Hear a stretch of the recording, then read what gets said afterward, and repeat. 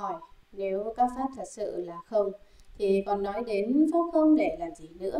Đáp, có hai trường hợp cần phải nói, đó là nói về không để phá chấp về hữu, nói về không mà chẳng trú chấp nơi pháp không. Trong kinh có nêu ví dụ sau đây, khi tiểu kiếp tận thì xảy ra các nạn đau binh, hạn hán, dịch tật, đói khát, vân vân, nhưng vẫn còn có sơn hà đại địa, còn có người vật, có chim, có thú, vân vân.